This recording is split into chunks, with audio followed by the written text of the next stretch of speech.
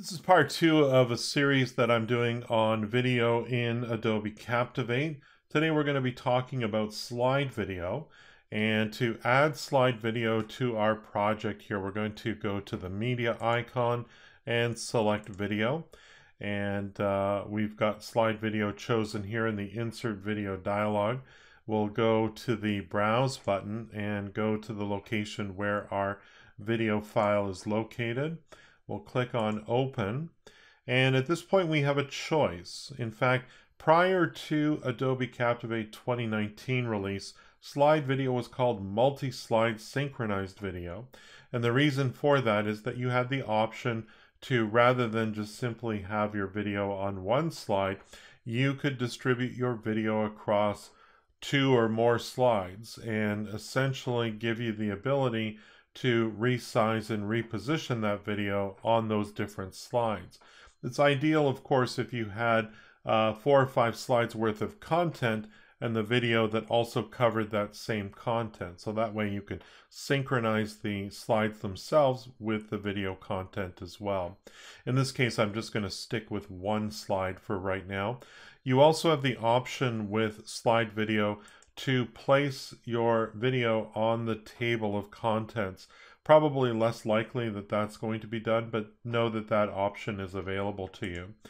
Uh, I'm going to go ahead and click OK uh, to add this particular video to this slide. What I want you to pay attention to is notice my timeline down here. I've got the default three seconds that most slides start out as.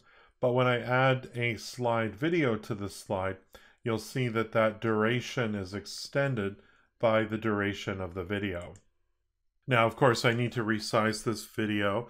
Uh, I'm just going to hold down my shift key while I grab one of the corners here and resize it so it fits within the area here. Uh, notice, of course, that there's the bookmark item as well as the overlay item. So I can actually navigate to different parts of the video and add bookmarks, which I can later navigate to. Uh, or I could add an overlay element, such as additional content that the video would pause to display, or a knowledge check for users to actually interact with. Now, of course, because slide video is compatible with interactive video and is the duration of the slide, playback is in sync with your actual slide itself and you'll be able to use the Adobe Captivate play bar in your e-learning to control the video playback as well.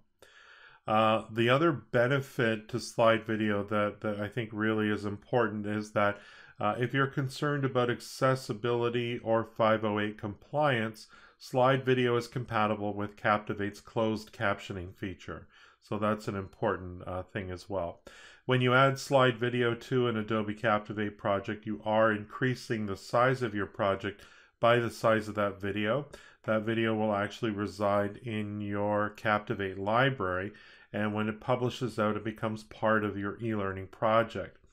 Uh, it will increase the size of your project, but the good news is, is that if your learning management system is behind a firewall and users don't have access to uh, video streaming services like YouTube. It doesn't matter. This video is part of your e-learning project, uh, so it doesn't require uh, specific internet access. Let's do a preview of this project right now and see what this looks like on screen. So you can see here that the video is playing in time with the slide itself. So if I use the Captivate play bar to pause this video, uh, I'm also pausing the project as well. And if I had closed captions, I of course could have them appear on the screen, perhaps in this black area right here. But as you'll see, of course, play, pause works. I can even rewind to the beginning of the slide and start the slide over again. If you thought this video was useful, please share it with your colleagues. If you need help with your next e-learning project, consider hiring me. My focus is to create effective e-learning that helps you achieve your business goals. Visit my website at CaptivateTeacher.com, follow me on Twitter at CaptivateTeacher, and don't forget to subscribe to my YouTube channel.